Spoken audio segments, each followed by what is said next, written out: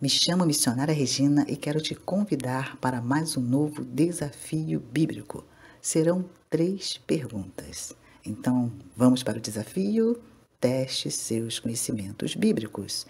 E a primeira pergunta é: qual o significado da palavra efatá? Alternativa A: levanta-te. Alternativa B: abre-te. Alternativa C: fecha-te. Tempo.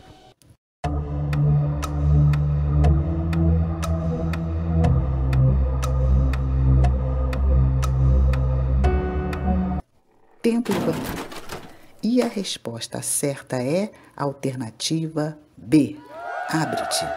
Efatá é uma palavra de origem aramaica usada em uma expressão imperativa que quer dizer abre-te. E a referência bíblica que diz assim: E levantando os olhos ao céu, suspirou e disse: Efatá, isto é, abre-te.